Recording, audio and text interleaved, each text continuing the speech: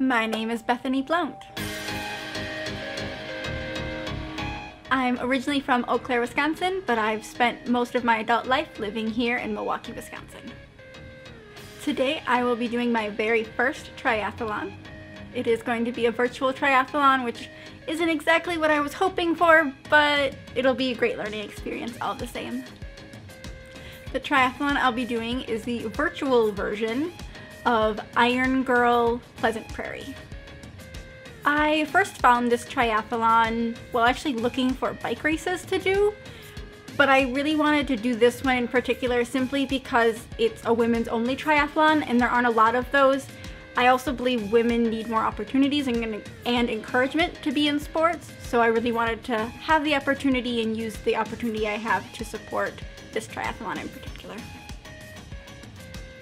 I've always loved to compete and as I got to be an adult, I found it really difficult to do team sports because if you've ever tried to coordinate a team sport with adults and all of their crazy schedules, it's hard to do. So I started looking at more individual sports like bike racing and running races to do more of. And I really love both of those, so all I had to do was add swimming to start doing triathlon. And the endurance component of it really drives me. I just want to finish it. Having never done a triathlon, there are a lot of moving parts that I'm hoping to get right. And since it is a virtual triathlon, I don't have the supports that I would usually have in an actual race with the transitions. So fingers crossed I can finish this and it all goes off without a hitch or with pretty small hitches. If it weren't for COVID, I hopefully would have been competing multiple weekends throughout the entire summer. Uh, the goal was to find a lot of different races throughout the state of Wisconsin, maybe down in Illinois because it's not too far away, but really just focusing on local races and helping support the charities and the communities that are in my area that I live near. Uh, one of my first races I was hoping to do this year was actually a triathlon in my hometown of Eau Claire, which being at the beginning of June, there was zero hope of that happening. As for the fruits of my labor, I really hope to set a high bar for myself here. Obviously, it's my first triathlon, so I don't have a previous triathlon time to use as kind of like a, a way of showing whether or not I'm improving.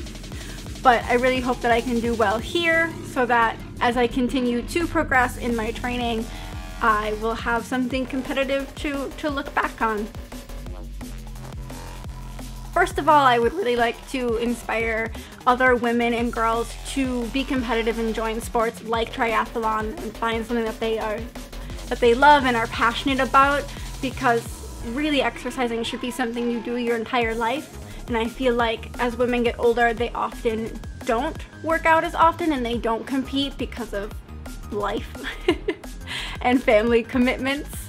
But second of all, I would really like to inspire my fiance, who always talks about wanting to work out more, and I'm hoping that showing him how easy this can be, easy is probably the wrong word, but I'm hoping this will inspire him to see that it's a lot of fun and hope he will join me in the future.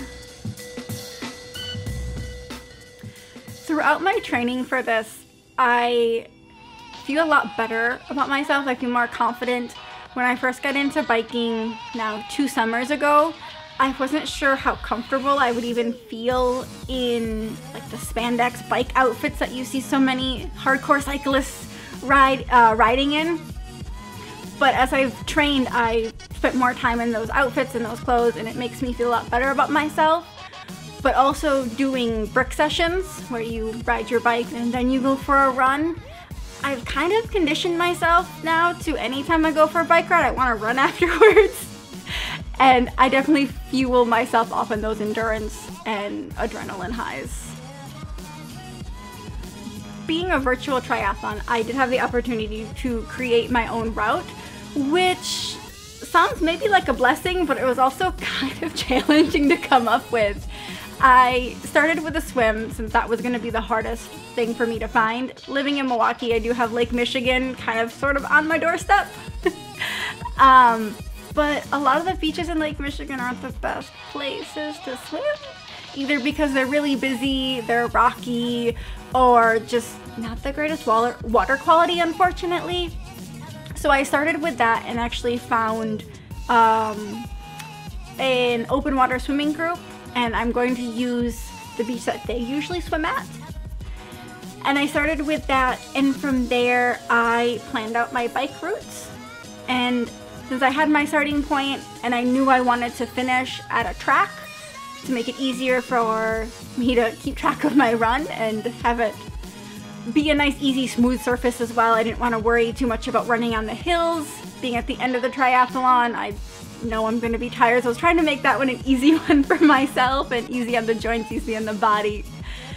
But then it was a matter of just trying to figure out how I could go from point A to point B in about 12 miles and stay on roads that I know, that I'm comfortable riding on, and ideally don't have a lot of traffic or at least not a lot of stop signs or stop lights because those are going to add up my time and really delay me. And so that was kind of what I used to start planning and just looked at a map and figured it out from there. Finally, if you see an opportunity, take it and dream big.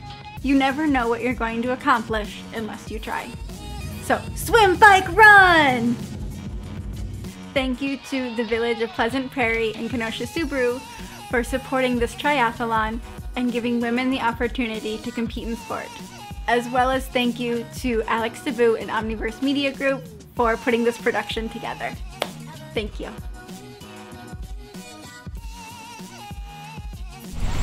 Moo. Or should I say moo?